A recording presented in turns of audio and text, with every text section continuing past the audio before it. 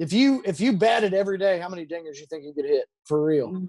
Damn. If you batted, if you got like 600 at bats, 600 at bats, yeah, I feel like, like even if you suck at hitting, you got to run into one, right? Like I'm gonna Well, yeah. say, you I'm better. say, just because I have leverage, like I'm not technically like a quote unquote good hitter, but like I'm I'm like relatively long, so where if I do barrel it up, I can get it out.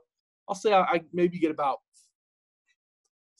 three to five. I'd say that could be that could be like an overstatement, but I don't know. I'm gonna go three to five.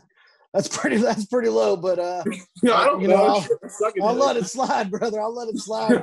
I threw I threw up a little bit listening. Well, how many how many home runs would you hit if you had 600 at bats in the big leagues? If I had 600 at bats, I'd have 600.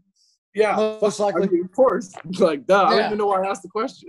But like, if I had 600 plate appearances, I'd probably only have like 40 because they'd walk me the other 560 times. You know what I mean? Yeah, That's true. I'd be like Bonds up there. They'd be walking me with the bases loaded and stuff. I didn't even consider that. I'm not on your level of thinking though, so it makes sense. Yeah.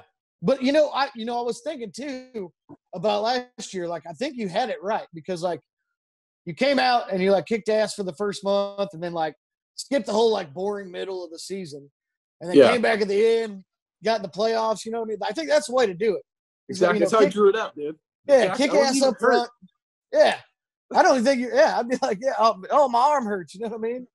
And go Yeah. bird dog some chicks in the stands for the next three months and then come back and start whipping fastballs even harder. Get it get a real yeah, you get a real forearm workout. You know what I mean? You got three months off. Definitely. No go. wonder Yeah, you- I no told, wonder I, I you're told throwing harder. GM had a meeting, and he was like, I was just like, you know what? We should just take about four months off, and I'll come back stronger, and we'll just lie to everyone. That's that's Yeah. what we ended up doing. Yeah. Hell, maybe you could bring back the spitball too. Damn. I need to start Yeah. taking all these notes, dude. Maybe I should. Yeah.